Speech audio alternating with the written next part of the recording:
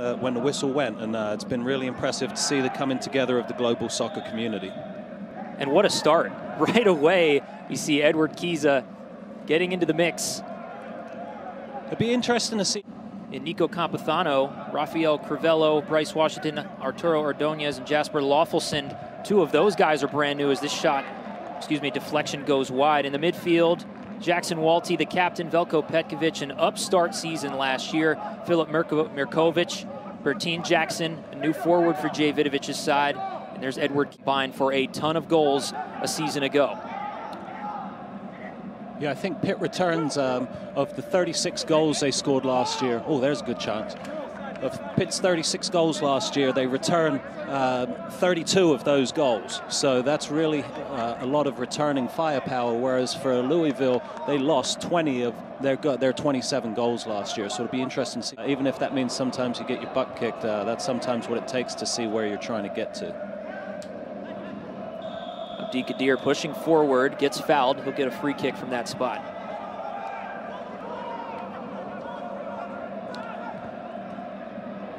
John Michael Hayden was talking this week that he'd like to see his team possess the ball a bit more than they had uh, last season. That was one of the improvements that he was looking to make. Uh, so, but you can see they're feeling it and they're definitely wanting to get on the score sheet tonight. So, uh, I think you're going to continue to see Pitt push you. Uh, but obviously, when you're hobbled by injuries, you're not able to put in, uh, you know, the, the best performance of yourself, and, and being healthy is essential. Knows who Bruno Lapa is, and that is who Fonseca's head coach compared him to. Bruno Lapa program, and he was also on MAC Hermann watch list. This ball is crossed in for Jackson, can't get there. Fonseca and Elveroth, their impact for Louisville could be crucial to this team and what they do this year. And they were picked fifth, fifth in the North region, David. And when we asked John Michael Hayden about that, he said, it's just fuel. It yeah. doesn't matter to me. Yeah, I mean, uh, given the fact that they went to the, the third round of the NCAA tournament last year, I think uh, obviously there, there's some proof there that. To win the national title, he scored those goals in the tournament against those two teams. Similar to Bruno Lapa and can unlock defenses. Kizza couldn't get on the end of one. Wow, I'm surprised he didn't bury that. Uh, I think he might have thought he was offside, but you can tell yeah. he thinks he should have buried it as well. But uh, that will keep him that will keep him uh, hungry. He immediately looked over at the side judge, wondering why that wasn't blown dead. And we've seen Dexter get loose down the left side a few times and have the time to be able to put that ball into the box. So uh, Louisville's really going to have to tighten up a bit on Dexter. That combination of Dexter. Louisville out back. Washington and Ordonez, the center backs for Pittsburgh, David.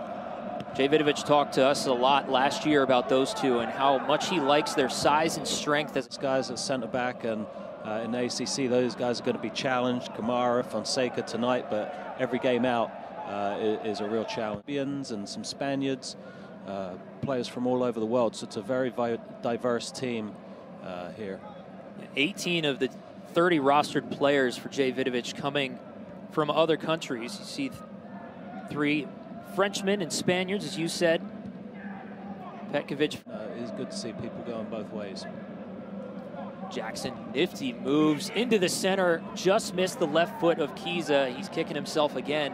And I think that they're going to continue to uh, probe. I see uh, has moved over to the left side now and switched with Diaz. So uh, they're, they're doing some different. Now to Falsoni, back to Gelnovatch. He didn't want it. He said, what are we doing here? More possession. Um, here you see Pitt now countering again. Great ball from Kizza. Another one from Jackson. Petkovic couldn't get a left foot on it. Multiple chances into the middle. Kizza, it's in the back of the net. Well, they kept working at it, didn't they? They didn't let the play die, and there's number nine popping up with the goal. He brought his lunch pail to work today, digging holes after he scores the goal. Dexter kept it alive over on the far side, was able to pull it back and, and play it in for Kizza. How many times have we seen that combination Petkovic had the best chance at it originally, originally, but it all started with Kizza, and then he ends things. Bertin Jackson gets the ball across. Pel Petkovic can't quite finish. Dexter's there to keep it alive. Kizza sniffing around, toe pokes it in. That's what you like to see. Just gorgeous, and it, it's been going on all game, basically. How many looks have they had? And finally, Kizza makes it happen. Panthers go up one to nothing as we take a hydration break. In the 26th minute here, Kizza scores.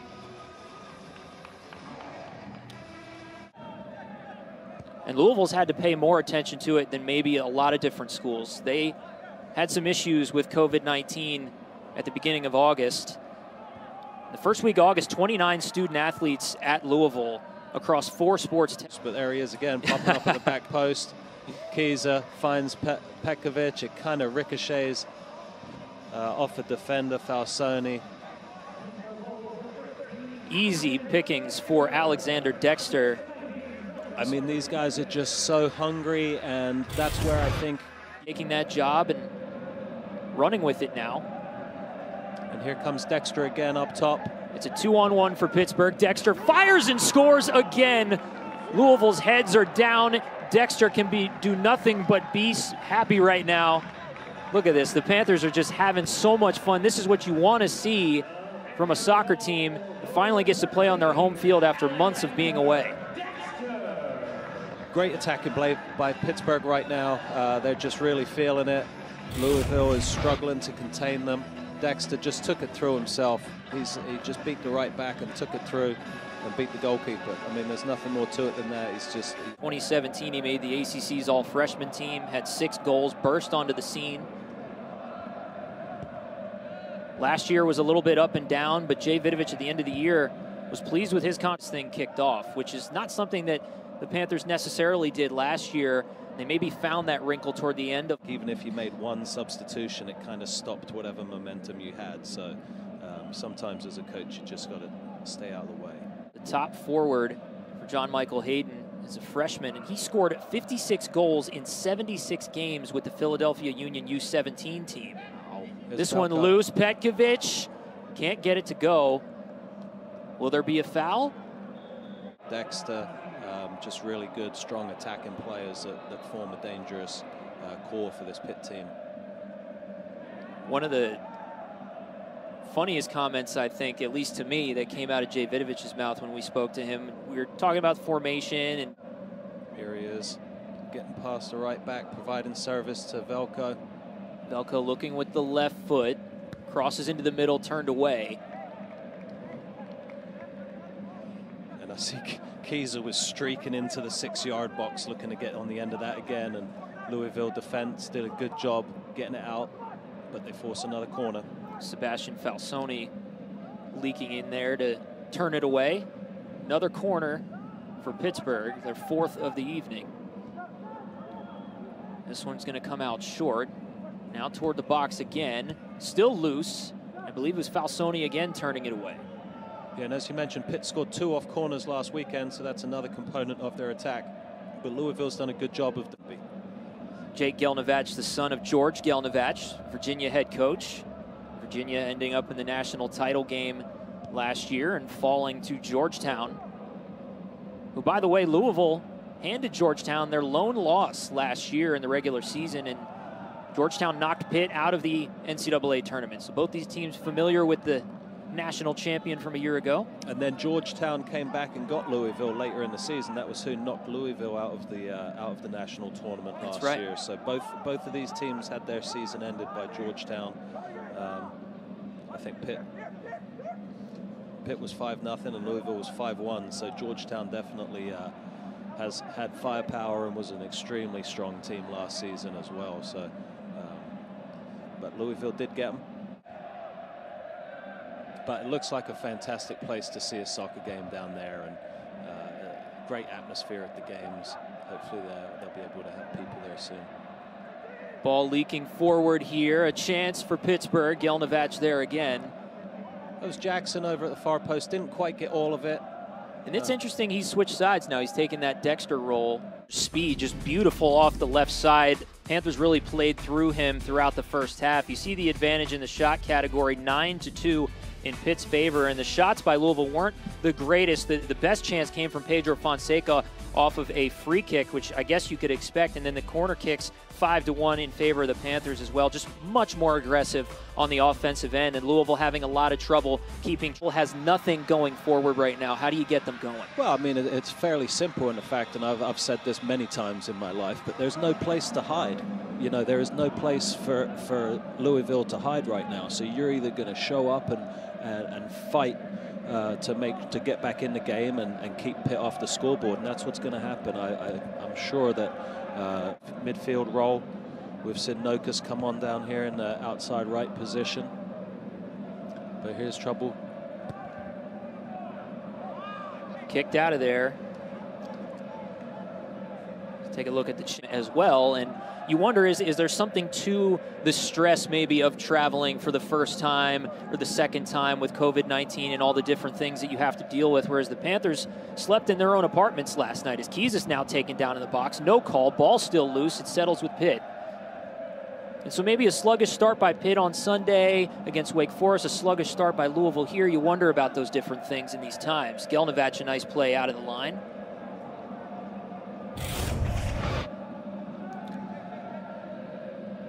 That's a really strong tackle by Sample there, getting back, winning the ball, uh, you know, quite possibly prevents a, a, goal or at least a goal scoring opportunity. That's a really good tackle uh, from Bradley Sample. Sample, one of those big returners for Louisville. 15 starts in 20 games last year. His only goal came in the NCAA tournament. Yeah, and he almost had one here too. Good, so I think that there's a, a lot of good soccer here, um, and you're seeing the benefits of it. I mean, there's there's America. Kizza being active. This one punted away. Falsoni has really been the guy back there. If there's been a clear out, it's usually him on the ball. Well, good for him. You know, I mean, he's been challenged tonight. The the game's not necessarily going the way he wants it to, but um, he's he's battled really hard and he's he's keeps working and he's keeping his goalie as clean of. Um, practices to be able to tweak this team, to improve this team, to get them to, to work more cohesively. And each time out is you know, a challenge to, to your.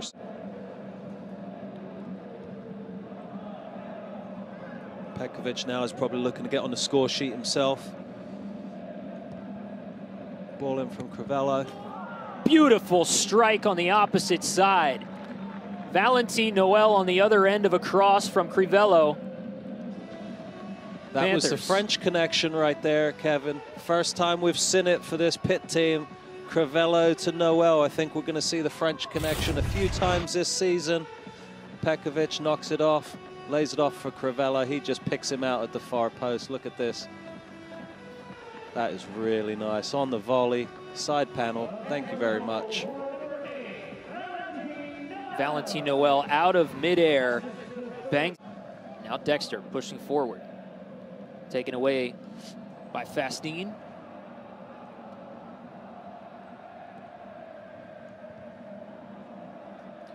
Been really interesting to see uh, just just how the, the Pitt teams come together in terms of bringing in the new guys. See there, Mirkovic, one of those new guys playing it out to Löffelsend, another one of those new guys. Uh, so interesting to watch how those players have combined, how they've been able to work together, develop understanding. Um, and it's also obviously going to be interesting to see how they, you know, where they are in year five of the Vidovich era um, and what's what's to come. But you know, they really the senior class specifically. You know, he talks about how they made made Pitt into something. You know, and, and made them relevant on the national national scene. But he's really challenged these guys to be selfless, to play for the team, um, and they, they've worked real hard to be a more unified team moving forward. Pitt still possessing in the offensive end. You mentioned it. I mean, the the strength of schedule for Pitt last year was absolutely ridiculous if you really look at it and the opponents that Jay Vidovich put on his schedule.